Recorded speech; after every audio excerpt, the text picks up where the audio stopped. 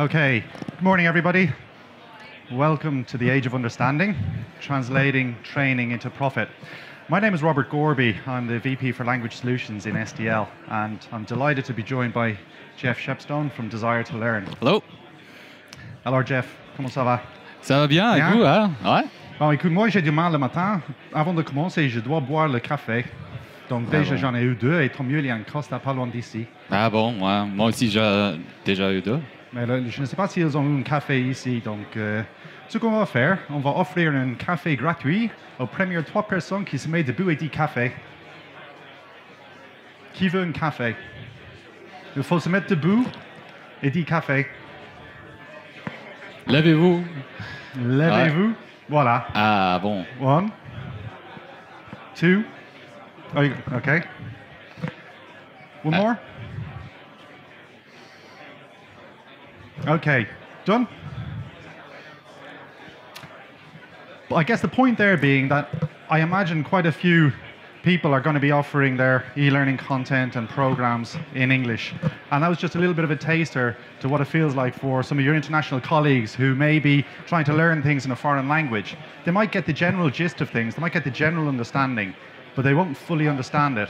And therefore they could miss out on an opportunity. In this case it was a coffee, but in other cases it could be something else. So I think the point being it's really important to make sure that you're offering local language learning and really delivering that understanding in a local language. Just in terms of the, the, the three points up here that you can see agility, collaboration, and compliance. I guarantee you, no matter what you're working on, whether it's an e learning platform, whether it's a training program, whether it's a corporate change program that you're working on, one of those three will be part of the goals, that list of goals that you have for your project. Those three things are absolutely crucial to sustainable, profitable growth for any business. But trying to deliver agility or collaboration internationally in a foreign language is not possible.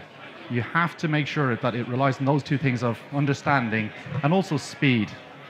So two things are really key here. One, making sure people understand things fully, as you saw from that little skit around the coffee. But secondly, they need to understand it at speed. There's no point in people half-heartedly getting things or just generally understanding it, but not quite, or fully understanding it, but weeks and months after everybody else.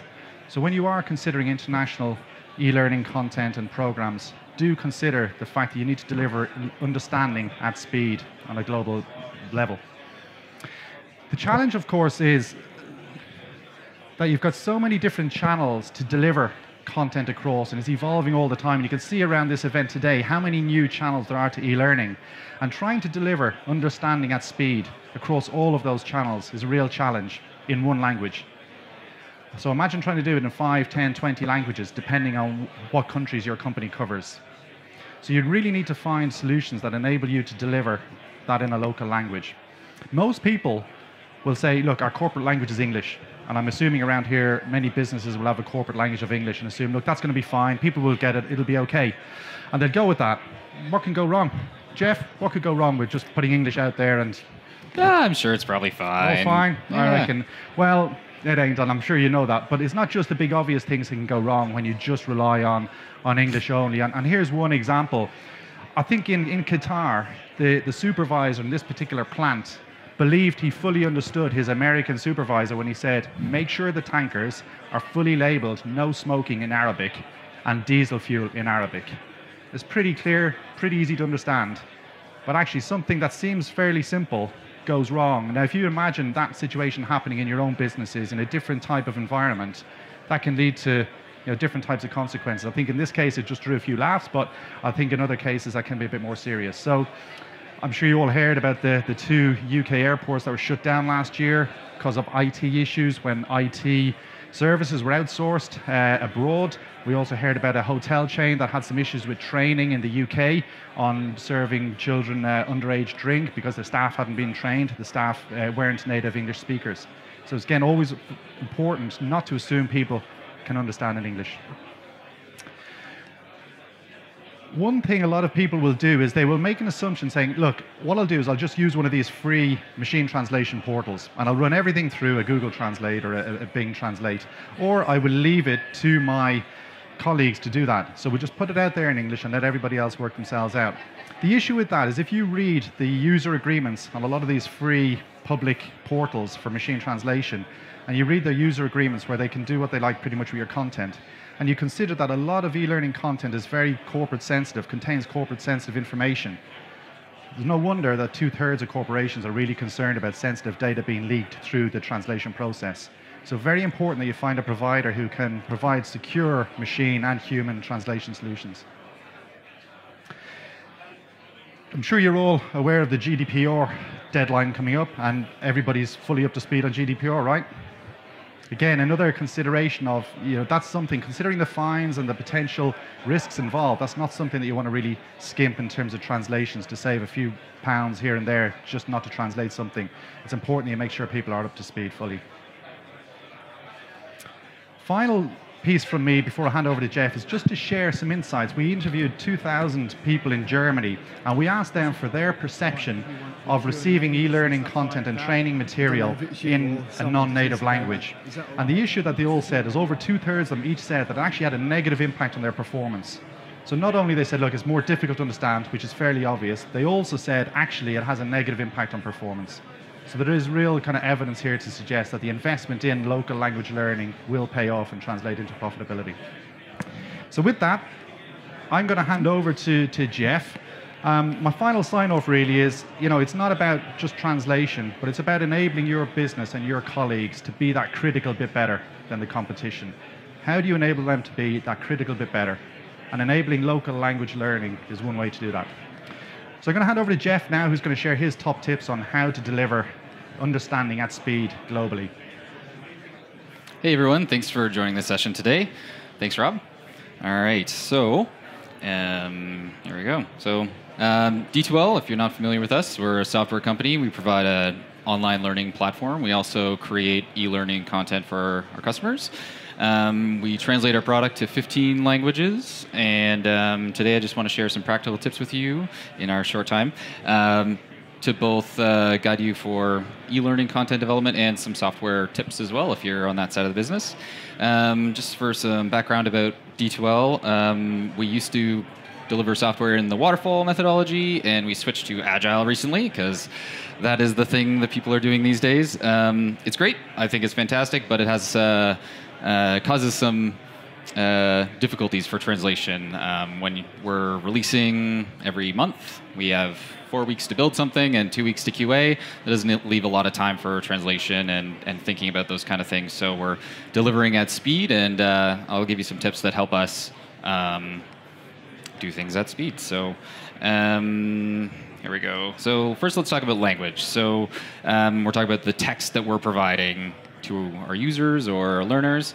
Um, here's an example from this is my, the kind of the gold star example of localization. Pixar um, in their uh, the film uh, Monsters University, they had a, a, scene here where there was a message spelled out on cupcakes, and the idea is uh, the the creator of the cupcakes has the them flipped and they land on their face and it spells out lame or something like that. So that's a that's a difficult situation to localize. Um, so what Pixar did instead is instead of trying to find a what is it a seven letter word that would explain friendship or a friendly greeting and then sort of an unfortunate outcome in four letters that also fits the the context, um, they just use smileys and. Uh, those were unhappy smileys after. So Pixar is a really great example of really thoughtful localization. I don't know if you've looked into it. Um, not many people who speak multiple languages rewatch the same um, animated movie and think about these tiny details like, uh, oh, uh,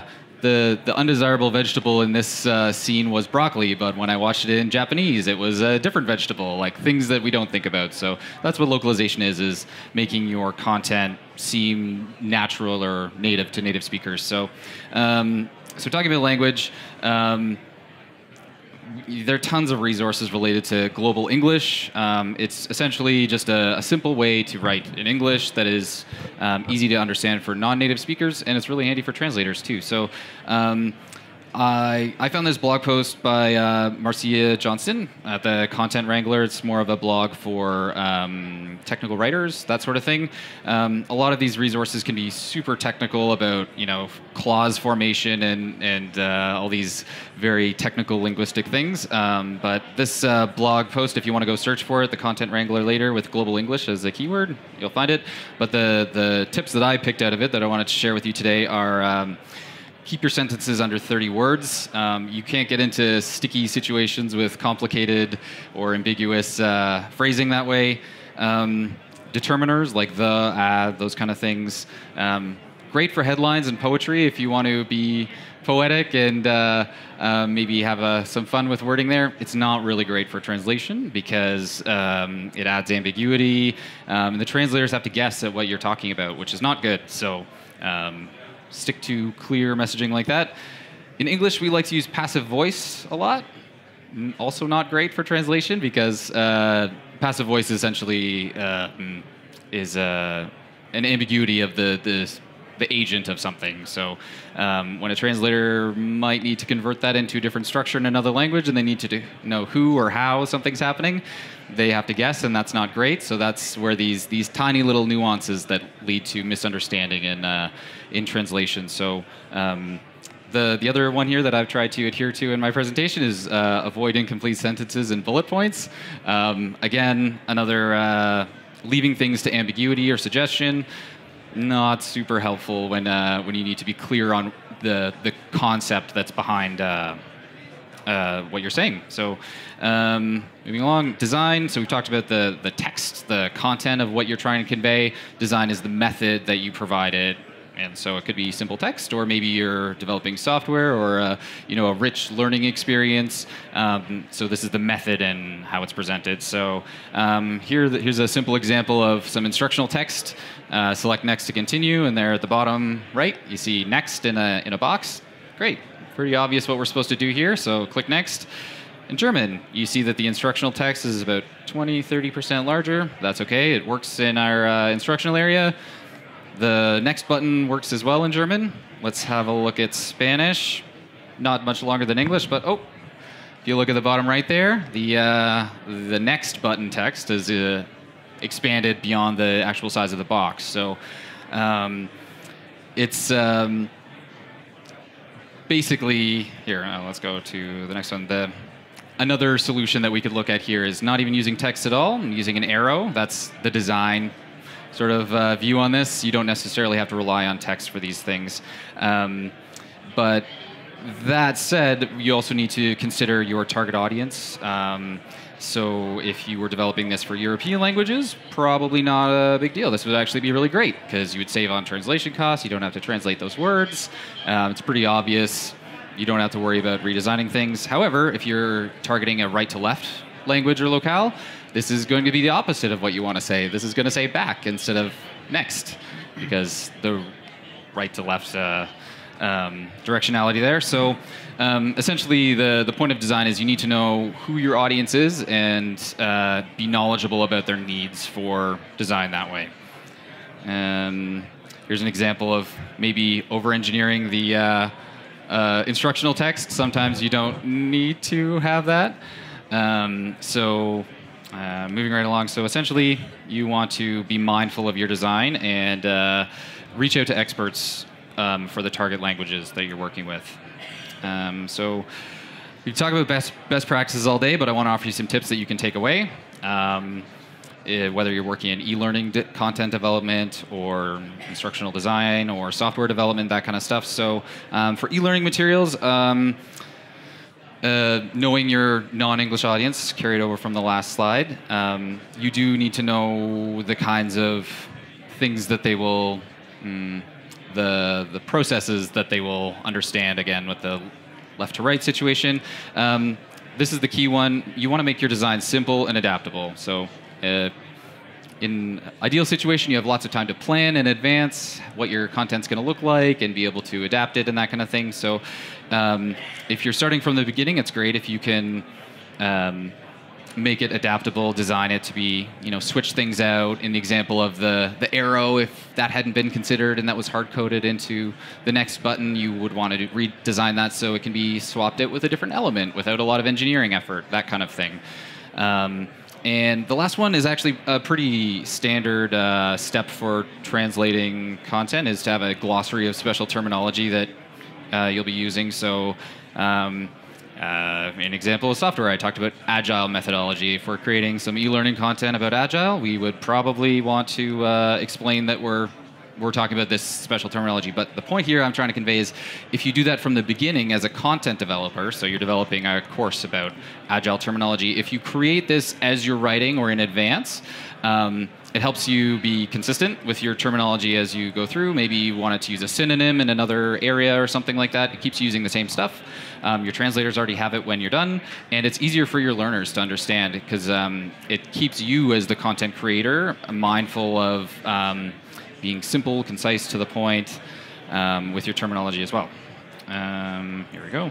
Um, so on the software side of things, um, I don't know if any of you here are interested in that, but uh, the one point that I want to convey is concatenation is the worst. Concatenation is stringing multiple elements together to create one meaningful idea in the end. So here's an example of something that we worked with with our engineers at D2L. Um, they are engineers are great. They're very efficient. They're always thinking about saving costs and making things faster for us. But um, in this case, they thought, you know what? We use the the phrase "new" a lot. You know, we want to create a new user, a new discussion, or a you know a new new something else. So why don't we just create a a text element for new, and we can reuse that for all these other things, which is the opposite of what is good uh, when it comes to translating things, because the translators don't know that new, they, they will see the text new and translate that on its own, sort of um, separate from the context of the, the rest of the things that the engineers have put it together with. So, um, in this example in French, yes, uh, um, in the first line you see new discussion, that's great for English speakers. Um, and then in French, the syntax works in this specific case, but the gender agreement doesn't work. So nouvelle, masculine there, doesn't work with discussion, which is feminine. Um, even in a different example in French with a different adjective, like uh, blue or something like that, discussion bleu, like that doesn't make sense, but um, the translators wouldn't have control over the context or the syntax of those words. So it would come out as like bleu discus- discussion, which doesn't make any sense. The syntax is incorrect in French. So the best way to do it is keep your meaningful segments together. So um, if you're trying to convey a message in your software, whether it's a long piece of text or a simple header or something like that, don't split it up into different parts.